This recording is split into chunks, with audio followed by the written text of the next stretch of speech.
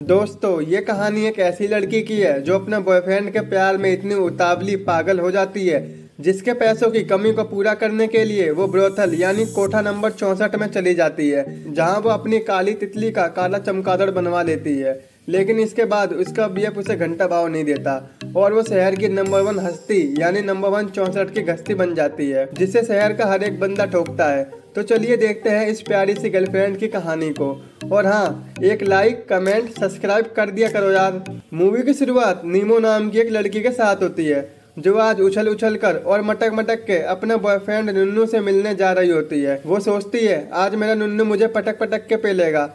लेकिन नुन्नू की बात सुनकर नीमो की फटके चार हो जाती है। नुन्नू नीमो से कहता है, तुम्हें मेरी जरूरतों को पूरा करने के लिए कोठे में जाना होगा। जिसे सुनकर नीमो कहती है, मुझे बहुत डर लग रहा है। लेकिन नुन्नू बोलता है सिर्फ़ पंद्रह दिन की तो बात है, इसके बाद हम दोनों शादी कर लेंगे और खुशी खुशी साथ रहेंगे। दोस्तों, नीमो नुन्नू से इतना प्यार करती है कि वो उसके लिए कोठे में क्या कहीं भी जा सकती थी। इसके बाद वो एक ब्रोथल में जाती है, जहाँ वो कोठे की मालकिन रानी बेगम से मिलती है। वहीं रानी बेगम उसे ऊपर से नीचे तक ताड़ के कहती हैं, मुझे जितना बताया था, तुम मुझसे भी ज़्यादा कंचा पीस हो। लेकिन नीमो कहती है, आप मेरे फिगर को नज़र मत लगाओ मुझे यहाँ के बारे में कुछ नहीं पता। तो रानी बेगम कहती हैं, बेटा, कोठे का एक दिन का स्वाद बाहर की दुनिया के दस साल के इक्वल होता है और धीरे धीरे तुम सबका स्वाद लेना सीख जाओगी। अब यही तुम्हारी ज़िंदगी है और यही दुनिया है। इसके बाद रानी बेगम नीमो को उसका कमरा दिखाती है और कहती है, तुम्हें एक प्राइवेट रूम भी दिया जाएगा, जहाँ तुम क्लाइंट से अपनी तितली का काला भूत बनवाओगी और जितनी भी कमाई होगी, उसका 50 परसेंट हिस्सा मुझे मिलेगा। इसके बाद रानी बेगम नीमो को कोठे की हस्तियों, यानी नंबर वन हस्तियों से मिलवाती हैं। जहाँ एक लड़की नीमो से पूछती है कि तुम्हारा पिम्प कौन है, लेकिन नीमो को कुछ समझ नहीं आता। इसके बाद रानी बेगम नीमो से कहती है, तुम्हें अपने फिगर को टाइट और दमदार रखना है, जिससे ज़्यादा क्लाइंट तुम्हें ढो सकें, और वो उसे डॉक्टर के पास ले जाती है। तो वहीं डॉक्टर नीमो से कहता है, चल जल्दी नंगी हो जा, मुझे तेरा चेकअप करना है। लेकिन भाई डॉक्टर ज़रूर कोठे का है, लेकिन नंबर वन ब्रांडेड बंदा है। जब डॉक्टर नीमो का बॉडी चेकअप कर रहा होता है तो वो नीमो से कहता है, तुम ऐसे काम क्यों कर रही हो? तो नीमो कहती है, मैं ये सब अपने बॉयफ्रेंड नुन्नू के लिए कर रही हूँ। बस पंद्रह दिन की बात है। इसके बाद हम दोनों शादी कर लेंगे और खुशी खुशी साथ रहेंगे। तो डॉक्टर बोलता है, तेरे तो लग गए एल वो काट गया तेरा चूतिया। अगले दिन रानी बेगम नीमो को पेपरिका नाम से इंट्रोड्यूस करवाती हैं। दोस्तों पेपरिका का मतलब होता है तीखी लाल मिर्च, क्योंकि नीमो इतनी हॉट लड़की थी कि जो भी उसे देखे तो देखता रह जाए। और साथ ही उसकी जवान भी बहुत चलती थी। कोठे में पैर रखते ही नीमो को एक क्लाइंट मिल जाता है। जहाँ रानी बेगम बहुत खुश होती हैं और वहीं पेलन कार्य चालू होता है कि उससे पहले पेपरिका उसे रोक देती है। तभी रानी बेगम आ जाती हैं, जहाँ वो उससे कहता है, माँगता हूँ तो देती नहीं जवाब मेरी बातों का। देती है तो खड़ा हो जाता है रोम रोम जज्बातों का। ये सुनकर रानी बेगम पेपरिका को लास्ट वार्निंग देती हैं, अगर तूने अगली बार ऐसा कुछ किया तो मुझसे बुरा कोई नहीं होगा। इसके बाद से पेपरिका काफ़ी खुश रहने लगी थी, क्योंकि जो भी क्लाइंट आता था, बुढ़ा, जवान आदमी, लड़के, सब पेपरिका को चूज़ करके ले जाके जी तोड़ बजाते थे।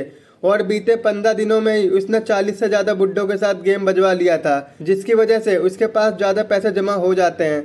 और वहीं रानी बेगम भी नीमो से बहुत खुश होती हैं, क्योंकि जब से पेपरिका इस कोठे में आई है वो इस कोठे को फाइव स्टार की रेटिंग तक पहुँचा देती है। उसकी सुंदरता देख के कोठे की घस्तियाँ भी नीमो को पेल देती हैं। और ये बात पेपरिका रानी बेगम को बताती है, जिसे सुनकर बेगम की तितली में भी खुजली मच जाती है और वो अपने नकली घोड़े के घोड़े से पेपरिका के साथ ही जमाजम कर देती है। उसके बाद पेपरिका की दोस्ती उसके पहले क्लाइंट फ्रैंको से हो जाती है, जो एक साथ डेट पर जाते हैं। दरअसल फ्रैंको को पेपरिका से प्यार हो जाता है। फ्रैंको नीमो से कहता है तुम मुझसे शादी कर लो, लेकिन पेपरिका कहती है, मैं अपने नुन्नू से बहुत प्यार करती हूँ। जैसे ही वो अपनी बिज़नेस मीटिंग खत्म करके घर आएगा, मैं ये काम छोड़कर उससे शादी कर लूँगी। इसके बाद वो अपने बॉयफ्रेंड को कॉल लगाती है, जो उसकी कॉल को पिक नहीं करता, जिससे पेपरिका का मूड ऑफ़ हो जाता है। तो वहीं को पेपरिका का मूड सही करने के लिए उसे डिनर पर ले जाता है, जहाँ वो काफ़ी मस्ती करते हैं, और वहीं पेपरिका अपने बॉयफ्रेंड को किसी और लड़की के साथ देखती है। जिसको देखकर पेपरिका के पैरों से ज़मीन गायब हो जाती है। पेपरिका नीनू से पूछती है, ये लड़की कौन है और तुम लंदन से कब वापस आए? तो वहीं दूसरी लड़की बोलती है, तू कौन है? तो पेपरिका कहती है, मैं इसकी धर्म पत्नी नीमो हूँ। तो वो हंसकर बोलती है, अबे मैं इसके साथ तीन साल से ठुकवा रही हूँ। तो पेपरिका कहती है, मैं तो चार साल से। तो ये सुनकर वो लौंडिया वहाँ से चली जाती है और उसके पीछे पीछे नुन्नू उसे मनाने चला जाता है। ये देखकर वो समझ जाती है कि मेरा चूतिया कट गया है और डॉक्टर सही कह रहा था। जिससे नुन्नू बहुत ज़्यादा सैड हो जाती है, जिसके लिए दिन रात ठुकी, उसी ने मेरा तितली का काला चमकादड़ बनवा दिया, जिसका फ़ायदा उठाकर फ्रैंको नीमो को अपनी बातों में फंसा के अपने घर में ले जाके दबा के हैंडपंप देता है। अगली सुबह पेपरिका फ्रैंको के लिए चाय पानी लाती है तो फ्रैंको कहता है, तुम मुझसे शादी कर लो, और मैं जल्दी नेवी का कैप्टन बनने वाला हूँ। तो पेपरिका उसे साफ़ मना कर देती है, क्योंकि वो फ्रैंको से कहती है, प्यार में धोखा, और तुम सबने मुझे ही ठोका। मेरा मन करे तो तुम्हारे पिछवाड़े में दे दूँ लोटा। वहीं पेपरिका फ्रैंको से ये बोलते हुए जाती है, अब मैं फिर से कोटे में काम करूँगी, क्योंकि तुम लोगों ने पहले से ही मुझे गश्ती बना दिया है। अगले दिन नुन्नू ब्रोथल में पेपरिका से मिलना आता है। नुन्नू, पेपरिका से कहता है, तुम यहाँ जितने भी कमाती हो, उसका सिक्सटी परसेंट मेरा होगा। तो पेपरिका कहती है, अबे ओ, मैं यहाँ खुद फिफ्टी परसेंट कमाती हूँ और तू मुझसे सिक्सटी परसेंट लेगा। तो नुन्नू कहता है, मैं तेरा पिम्प हूँ दोस्तों पिम्प का मतलब होता है दलाल। नुन्नू पेपरिका से कहता है, तुम्हें मुझे 60 परसेंट पैसा देना ही होगा। तो अब यहाँ पर पेपरिका को पिम्प का मतलब पता चलता है। दोस्तों, मैं आपको बता दूँ कि नुन्नू एक घटिया और हरामी टाइप का लौंडा है, जो शरीफ लड़कियों को अपने जाल में फंसा के ब्रोथल में पैसों के लिए काम करवाता है। वही पेपरिका नुन्नू से काफ़ी डर जाती है। वो ये बात रानी बेगम को भी बताती है, जहाँ वो कहती है, मैं तुम्हारी पूरी हेल्प करूँगी, तू टेंशन मत ले। अगले दिन उसी कोठे में एक पिम्प आता है, जो एक लड़की को खूब मारता है, क्योंकि उसने पैसे देने से मना कर दिया था। ये देखकर पैप्रिका काफ़ी डर जाती है। वो डिसाइड करती है, वो इस कोठे को छोड़कर कहीं दूर चली जाएगी और एक अच्छी सी जॉब करेगी। अगले दिन पैप्रिका अपने मिशन पर निकल जाती है, जहाँ उसकी मुलाकात उसी पिंप से होती है, जिसने कोठे में उस लड़की को मारा था। वहीं वो पेपरिका को पहचान लेता है और वो उसे दबा के हैंडपंप देता है। इसके बाद वो कहता है, मैं तुम्हें एक एक्टर्स की जॉब दिलवा सकता हूँ। लेकिन पेपरिका उसे मना करके गोली हो जाती है। इसके बाद वो अपने ऊँचे ऊँचे पर्वत को लेकर एक बार टेंडर के पास जाती है। लेकिन वो उसे जॉब पर नहीं रखता, क्योंकि उस पिंप ने पहले ही पेपरिका को जॉब देने से मना कर दिया था, क्योंकि वो पिंप पेपरिका से अपना कमीशन बनाना चाहता था। लेकिन इसके बाद पेपरिका के पास कोई रास्ता नहीं होता। वो उस पिंप के बहकावे में आके एक बड़े कोठे में काम करने लगती है और उस पिंप के जाल में फंस जाती है। पेपरिका एक बड़े शहर के ब्रोथल में काम कर रही थी, जहाँ उससे जवान आदमी कम, बुढ़े आदमी ज़्यादा से ज़्यादा फ़िल्म पाली कर रहे थे, जिससे उसे पिछले कोठे से दस गुना ज़्यादा पैसे मिल रहे थे।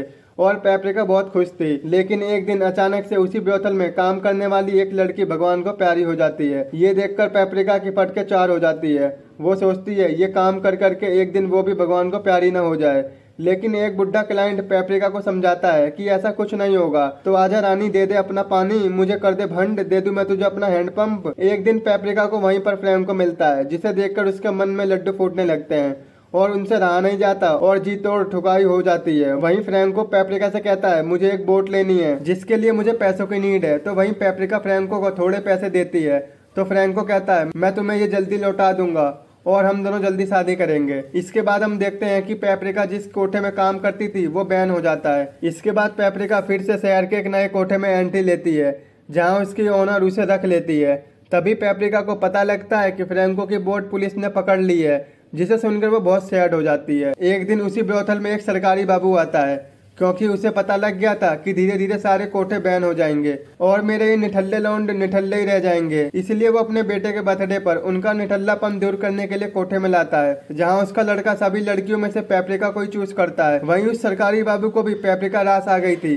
वो एक दिन पेपरिका को अपने बर्थडे पर बुलाता है और अपनी 20 साल की हवस वाली प्यास बुझा लेता है। और इस बुढ़े को मज़ा आ जाता है, जिससे खुश होकर वो सबके सामने पेपरिका को शादी के लिए प्रपोज कर देता है और फाइनली वो शादी कर लेते हैं। लेकिन बुढ़े ने ज़्यादा ही जवानी का जोश दिखा दिया था, जिससे वो भगवान को प्यारा हो जाता है और अब उसकी सारी प्रॉपर्टी की मालकिन पेपरिका बन जाती है।